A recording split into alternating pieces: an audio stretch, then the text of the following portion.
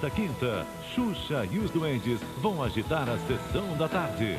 O mundo encantado dessas mágicas criaturas está em perigo. Eu vou destruir todos vocês! E só alguém muito especial pode impedir os planos desse terrível vilão.